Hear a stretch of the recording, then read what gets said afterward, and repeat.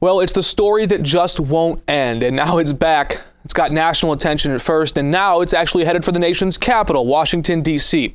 You've probably heard his name by now here in the local area 90 year old chef Arnold Abbott. Of course, he's the World War II veteran, and he just won't give up his push to legalize feeding the homeless outdoors in Fort Lauderdale. Now, it's something he's been doing for more than two decades down at the beach. Every day, Chef Arnold and his group Love Thy Neighbor prepare hot meals for homeless people. And it wasn't until recently that Fort Lauderdale Mayor Jack Seiler ordered police to enforce a new law that makes it illegal to feed homeless people outdoors. Well, now Abbott heads to D.C. to meet with national lawmakers, and he's urging them to take his side. A man who has plenty of experience himself, Abbott says he still wants to learn new ideas.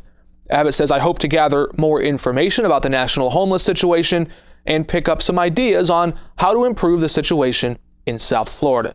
Now, it's important to note that just in the last seven years, more than 70 different cities all over the country have imposed similar laws that would criminalize homelessness. Now, during Abbott's visit to Washington, the Congressional Hunger Center will be recognizing Abbott as the Advocate of the Year. Well, who needs them more? The fight for expensive helicopters in Palm Beach County.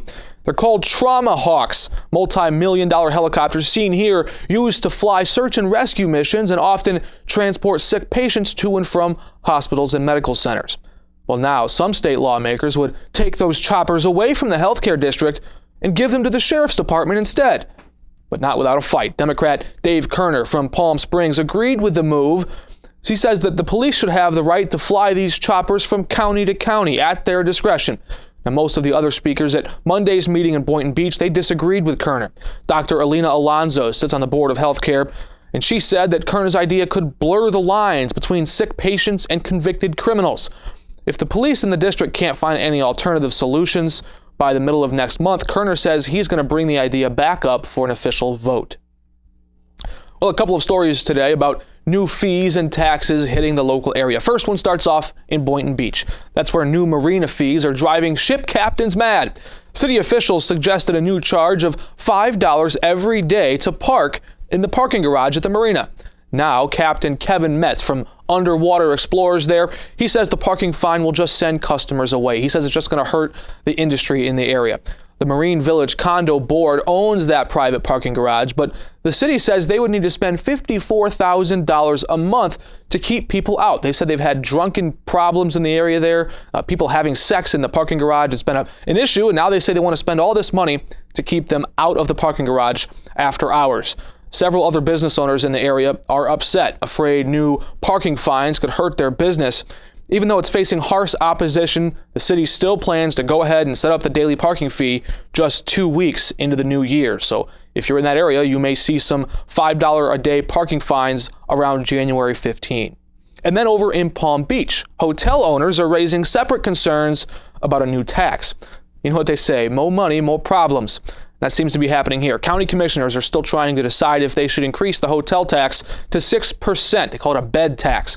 Well, that vote soon takes place, and it looks like it's almost a lock, six to one right now, those in support of the ruling. Now, according to their predictions, that minor increase in the tax would create about another $7 million in annual revenue.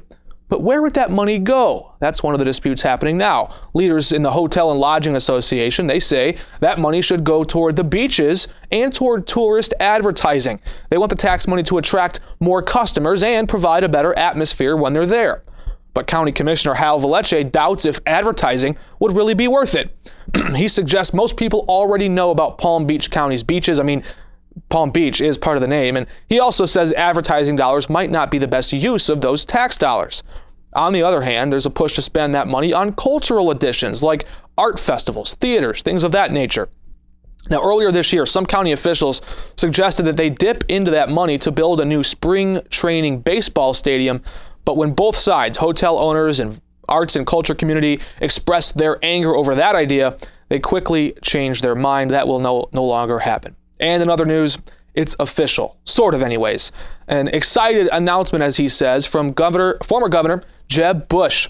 On his Facebook page, Bush says, Merry Christmas and Happy Hanukkah. Oh, by the way, I've decided to actively explore the possibility of running for President of the United States. Bush says he finally decided to explore that possibility of running for the White House while eating good food and watching, quote, a whole lot of good football with his family during Thanksgiving.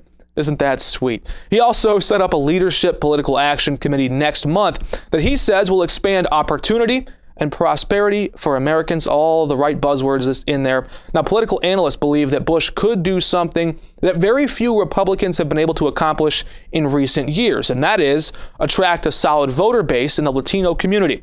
As most of you probably already know, Bush's wife, Columba, was born in Mexico, and Bush himself speaks fluent Spanish. Now, while this social media announcement stops just shy of announcing an official run for president, it's likely this was a sort of shout out to political donors that he is serious about running and maybe a message that says, hey, don't get too heavily invested in other candidates because he plans to run.